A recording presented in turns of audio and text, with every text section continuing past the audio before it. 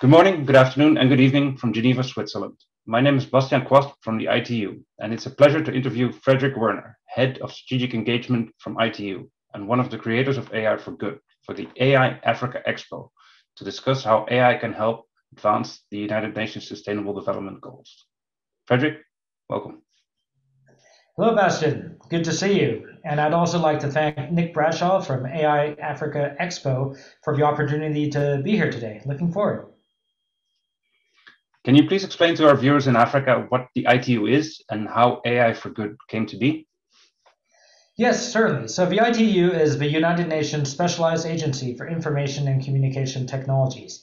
And we're very unique in the UN system in that our membership model comprises of 193 member states, over 900 technology companies, and 150 universities.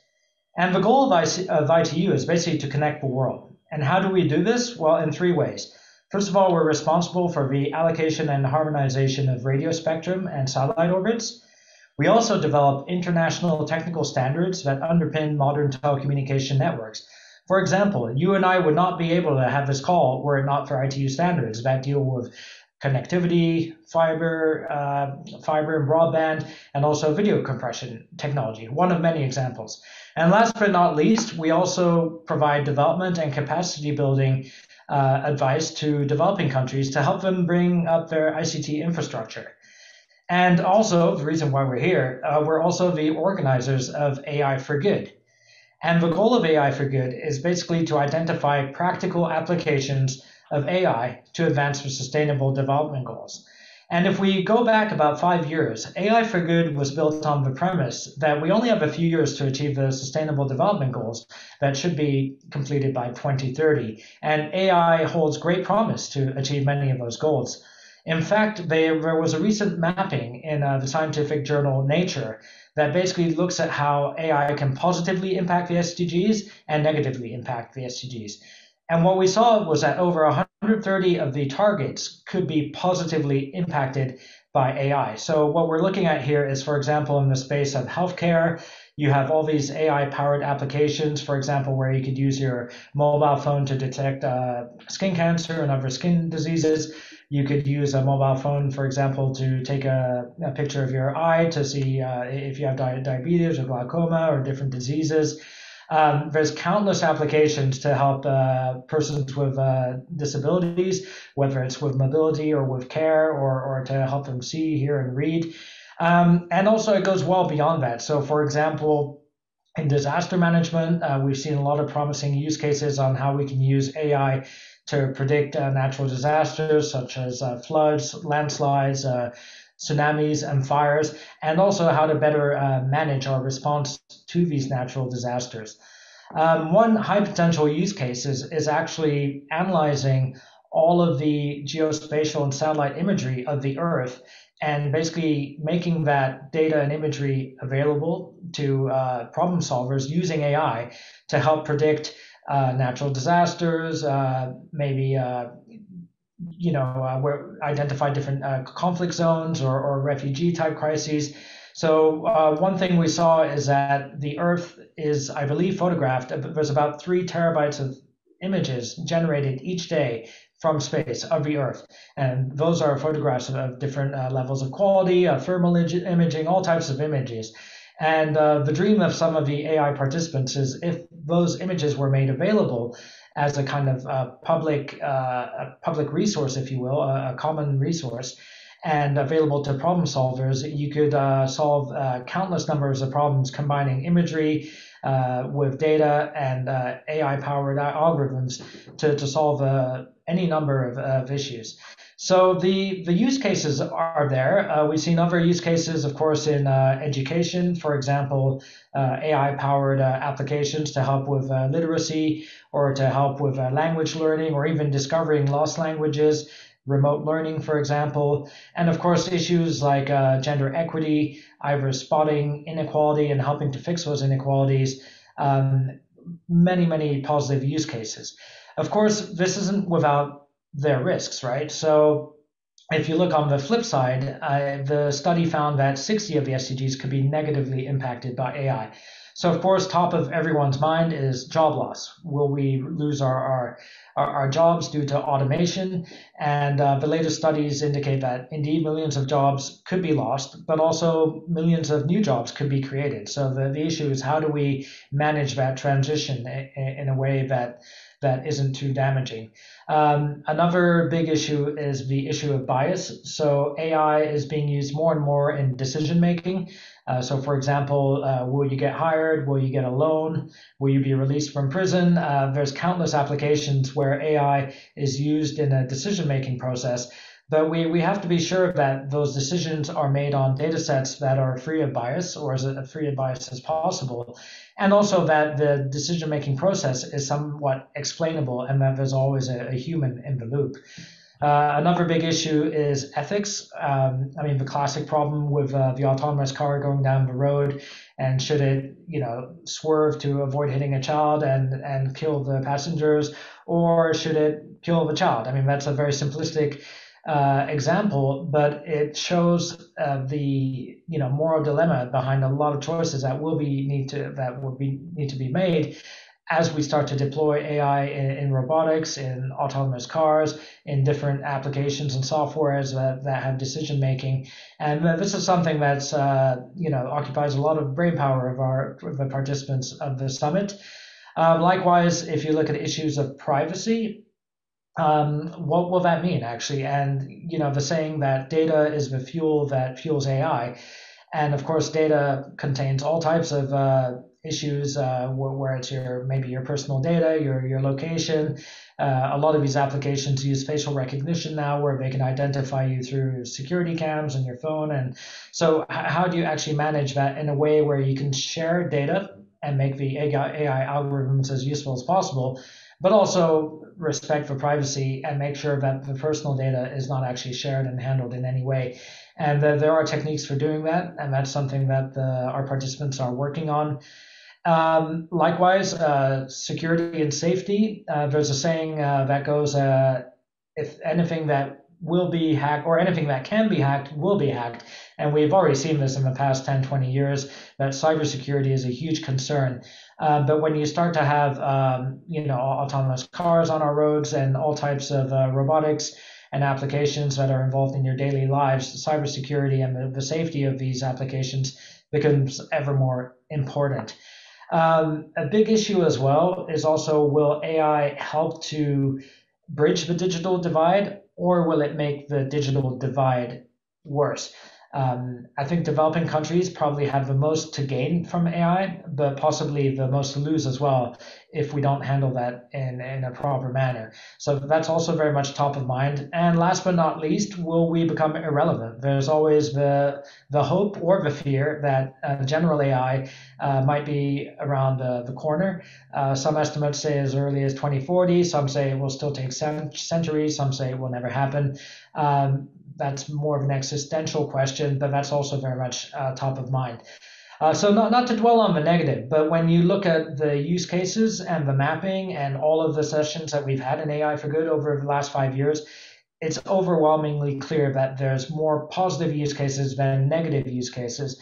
And the, the whole point of the summit is to bring people together who don't normally come together to help chart a, a positive and beneficial uh, course for AI that's aligned with our, our values and our goals. And speaking of goals, you know what what what what are our goals and, and what is considered to be good uh, different countries and groups of people and cultures have, have maybe have a different uh, expectation or definition of what is good uh, but instead of uh, reinventing the wheel we rely on the sustainable development goals uh, agreed upon by 190 plus countries as a guiding framework for AI for good. And I think that's been very useful, whether you're a startup, uh, whether you're Google, whether you're an academic uh, doing research. Uh, the sustainable goals, uh, development goals, has been a kind of a, lighthouse or a beacon, um, helping us to, to make sure that we actually do chart a positive path for, for AI. So, simply put, the goal of the summit is to connect AI innovators with problem owners and to create practical applications of AI to advance the sustainable development goals and to make sure that we scale the solutions for global impact. That's a very ambitious goal. How exactly do you achieve that? Well, thank you. And uh, first of all, we, we can't do that alone. So that, that's why the AI for Good has 38 UN sister agencies as partners. And it's very important to bring as many voices to the table as possible. So the AI experts themselves would say that AI is too important to leave to the experts alone. So if you look at all our programming and you know our basically our goal of being the, the, the most diverse, neutral, and global AI for good platform that exists, uh, we bring together uh, UN agencies, uh, member states, uh, government agencies, NGOs, uh, top industry players, startups, academics, and researchers, and even going to bring in artists and athletes and the creatives. And of course, you know, we aim to be multi-generational, multidisciplinary, multi-stakeholder, uh, multi-everything, if you will. Uh, but we do believe that having as many people to the table is uh, very important if we're going to have a, an inclusive uh, say in, in how AI develops and how AI is aligned with our, our values and our goals. And maybe adding to that, um, I, I, think your question was also how do you do that? So one of our uh, claims to to fame, if you will, is that we're we're action oriented, and um, you know there's a lot of different events and platforms where where you know, you, you can talk about AI, you can talk about AI for good, um, but we like to think that we're action oriented. And if you look at some of the outputs of the summit, um, there have been quite a few. And uh, so I'd just like to highlight uh, of that AI for Good generated uh, five uh, pre-standardization efforts on a, on a number of topics.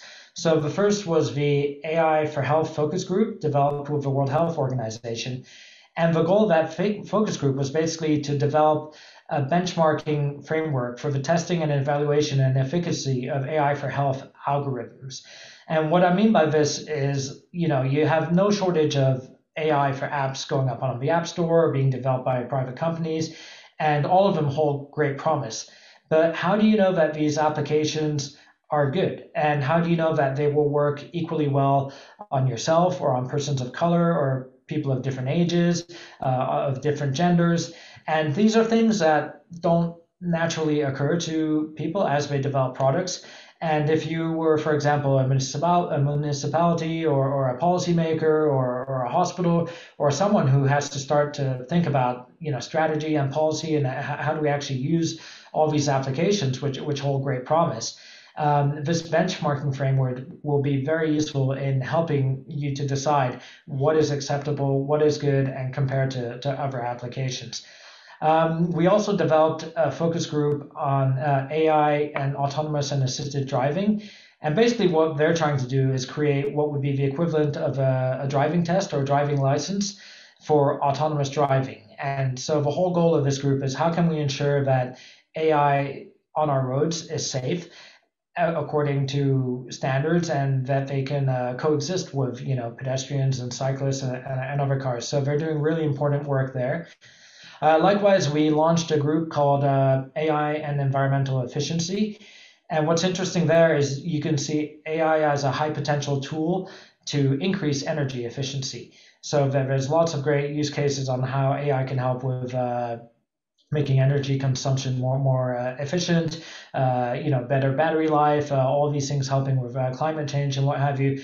But at the same time, we've seen that AI technologies are very uh, energy intensive themselves. So they're exploring uh, both sides of, of, the coin there.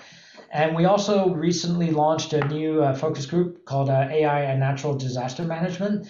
And basically, they're working on creating best practices on how to uh, predict natural disasters, whether they be tsunamis or floods or, or, wildfires and and of the likes, and also how you can better uh, manage them and mitigate them. And uh, this group has uh, it was launched last year with, huge momentum, and they're, they're doing some really important work there. Uh, last but not least, I'd like to mention a, a focus group uh, that, that has already come to term, which was the Machine Learning and 5G Network. And they've already created standards and they created a, a toolkit for the deployment of machine learning in 5G networks. Uh, this is also supported by a Machine Learning and 5G Challenge, where they've had thousands of competitors competing to solve machine learning puzzles in uh, 5G networks. For example, how can you try and predict uh, the effect of uh, adverse weather conditions on 5G network transmission, for example, or how can you make uh, networks more energy efficient or more secure or safe or optimized.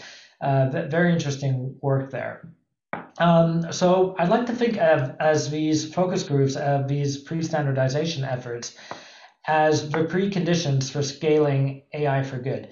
Because whether you're looking at you know, working on healthcare uh, type solutions, uh, environmental efficiency, autonomous driving, natural disaster management, 5G networks. Uh, one thing that they have in common is when, when you go through this pre-standardization process, you know, you're, you're looking at things like uh, definitions and taxonomy and frameworks and models and also uh, they're playing around with different uh, sandboxes type environments to test uh, algorithms with different data sets, coming up with best practices.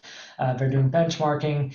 And I like to think of all of these activities as the preconditions for scaling AI for good problem solving, because these are all practical things that need to be solved if AI is going to be trustworthy, if it's going to be scalable, if it can be actually market implementable in, in different products across different countries, and also that they can work internationally and, and that they can in- interface with each other. So, some very important work uh, taking place there. Uh, another thing I'd like to highlight as a practical outcome of the summit is something we call the Innovation Factory. So that's basically an online pitching competition where we do a call for startups, uh, startups that are specifically using AI in innovative ways to advance the sustainable development goals. And um, what's great about this process is that it really identifies practical solutions that are, exist today that are in products. And uh, you know these startups they compete, they pitch, they pitch to an audience of mentors and these mentors, uh, they might be venture capitalists, they might be innovators, they might be CEOs, and anyone who sort of has, has a good understanding and handle on business, uh, giving them advice. Uh, but at the end of the day, the, the goal of the summit is to identify practical solutions of AI, and this innovation factory has, has been very uh, interesting in, in, generating these solutions. And something a bit um, a bit left to to that is uh, we also have what we call the Artistic Intelligence Program. And what we found through the summit is uh, there are a number of artists that are using AI in innovative ways to influence their artwork and also to push the limits of, of human creativity and performance. So whether you're a musician or a poet or an artist or a photographer, uh, we've seen some amazing use cases of uh, artists using AI, and especially with a positive message of sustainability. So um, we also have the artistic intelligence program, where basically artists uh, submit their artworks and they're evaluated and showcased. Uh, on AI for Good, and basically building a community around these these uh, amazing artists. So as you know, we are at AI Africa Expo, and there's a lot of discussion about how developing countries can benefit from AI. Could you maybe speak to that? Yeah, definitely. So that, that's been a, topic of debate since the launch of, of the summit. And if you think about data as the fuel that feeds AI, and if you think about developing countries and how they might benefit from AI, before you can have data, you need to have connectivity and digitization because it's that connectivity and digitization that will create the data that will allow you to eventually benefit from AI solutions and you know basically realize the, the promise of AI. And what we've seen at the summit is there's no shortage of useful AI for good applications, whether they be in, in healthcare or, or in agriculture or in transport or mobility, smart cities, um, loads of great uh, applications. But I think it, it's one thing to develop an application in Silicon Valley or in Shenzhen, where you know you have uh, lots of capital, you have lots of technology, you have lots of brain power, uh, sometimes done in a very controlled type environment, and it's a very different thing to try and deploy those solutions across 50 plus African countries and all the challenges that that might entail, wherever they be physical challenges on the ground, financial challenges, uh, political challenges, societal challenges. Um, so what we've seen with AI for Good is that the understanding of, of context is extremely important. So when, when we say we want to connect AI innovators with problem owners, the AI innovators could be anyone. It could be uh, Google, it could be an academic uh, uh, Oxford, it could be uh, Huawei or ZTE or a- any technology company. Problem owners, um, again, quite a broad definition, but anyone who's looking to use AI to, to solve their problems. Um, that could be a UN agency, an NGO, uh, the mayor of a city, a hospital, a clinic on the ground. And helping them to speak the same language is very important. And we've seen that if you can create a kind of common language, a common understanding uh, between these players, and maybe even create a kind of framework or, or connection mechanism where you can connect an AI innovator with a problem owner, then we could start to you know realize the let's say the promise of, of AI for good. And we've seen how COVID has changed the world as we know it. How does this affect AI for good? So, like everyone, we had to reinvent ourselves uh, in March of uh, 2020. Uh, but instead of waiting for some kind of green flag or, or green light when things would return back to normal, we basically decided to, to start taking our sessions and putting them online weekly and uh, seeing what kind of uh, response we would get. And as we've gone through the months and, and now years, we've seen that this has had actually a number of benefits, at least as regards to AI for good in our audience. So by going virtual and you know having weekly programming two, three times a week, different time zones, we've been able to reach massively more people. So the Geneva Summit uh, used to gather about two, 3,000 people each year in Geneva. And since we've gone virtual, we've reached over 100,000 people online. Uh, we've increased our subscriber base to 30,000 people. So these are people actively uh, receiving our invitations and joining our sessions. Uh, we've been able to increase the, the gender balance from 37 to 47 percent. Um, we more than doubled the number of uh, developing countries participating because obviously flying to Geneva was always an issue, but now people can connect from anywhere. And this has really led us to be, become the most you know global, diverse, and inclusive platform on AI uh, globally. And um, also more than that, uh, we we're basically we, we say now that AI for Good it's more than a summit. It's it's basically a year long online community where people get together to learn, they get together to build and collaborate, and they get together to network. And you know, as I highlighted in my previous answers, um, yes, there's the programming track from the AI for Good uh, summit that everyone was used to. But on top of that, we have a number of focus groups. Uh, we have uh, different AI and data challenges. We have the Innovation Factory. We have the Artistic Intelligence. Um, we're launching a, a new online uh, networking community in a, in a few weeks. And um, basically, we've been leveraging the online opportunity as much as possible so that if and when we do return to physical events, then we, we can leverage all of that to our advantage. Okay, thank you. Any final message that you might have for the audience? Yeah, definitely. Uh, first of all, I'd like to thank uh, Nick Bradshaw and uh, John Kamara um, for their support. And uh, so AI Africa Expo has been a, close partner of uh, the AI for Good since uh, 2019. And in fact, we've done quite a few sessions together. So quite often when we do African related content, it is done in partnership with AI Africa Expo. we did a a very good session on uh, the digital divide with the South African uh, ICT minister last year, and that was the best attended uh, session of last year. Uh, we recently did an innovation factory focused on South Africa, which uh, generated some really interesting solutions from, from Egypt and Ghana and uh, Nigeria.